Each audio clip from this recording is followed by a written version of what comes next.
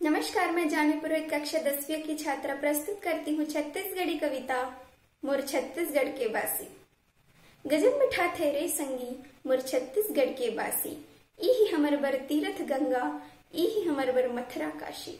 उठथन बिहनिया, करथन मुखारी, औ झटकथन बासी। दिन भर करथन काम बुता, पेट नहीं होवत खाली। दार दरहन के कामे नहीं नहीं लगाए साग तरकारी। दही मही संग नन मिर्चा गोंद लिए कर संगवारी के दिनले बनाबो मालपुआ के दिनले बनाबो तस्मय पुरी, कतकाला बिसाबो सेब दाल के के दिनले खाबो सोहारी।